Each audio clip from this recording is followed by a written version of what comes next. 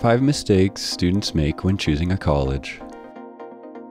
Making your final college decision can be overwhelming with a ton of factors to consider, but some things are not as important as others in the end. For students who are nervous about choosing which college to attend, here are some of the biggest things to consider and aspects you should not base your final decision on. Number 1. Choosing the same school as your friends or romantic partner.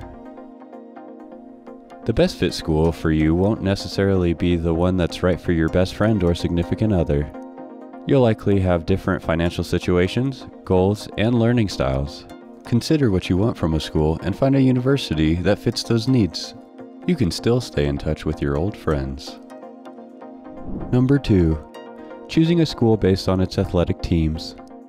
Some schools see a huge increase in applications after their teams appear in national championships like March Madness. This effect has a name, the Flutie Factor. Named after Boston College quarterback Doug Flutie, who led his team to an upset win in 1984.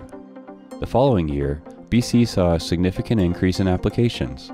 If you're planning to play a national level sport at the school, then this is a major factor you should consider as a student athlete, but it shouldn't be a significant consideration for most students. Number 3. Choosing a college solely on location.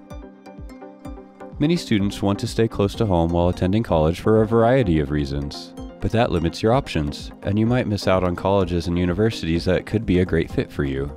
Expand your scope and consider a wider variety of places.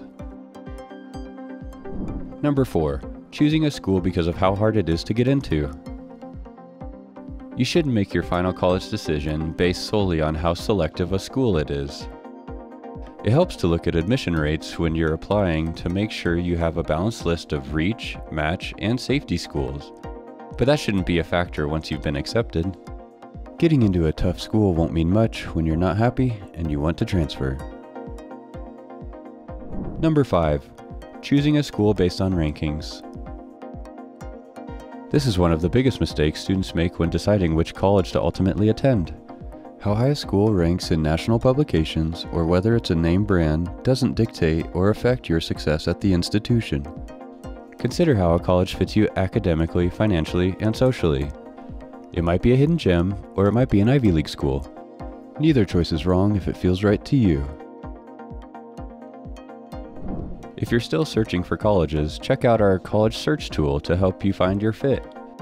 And if you need even more help with this big life choice, check out this article, Our Best Advice on Making Your Final College Decision.